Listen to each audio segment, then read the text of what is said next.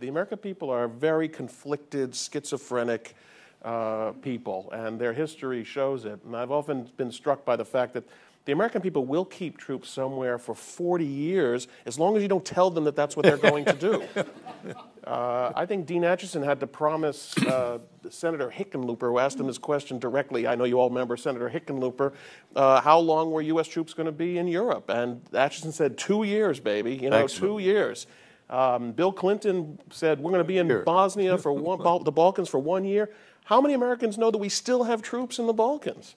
Uh, not to mention troop, you know, not to mention the troops in Korea, not to mention the troops in Japan. And so I think I've always, I, I really feel like earlier you hit on a very key point, which is do the American people perceive that we are in it to win? Do they perceive that we're being successful?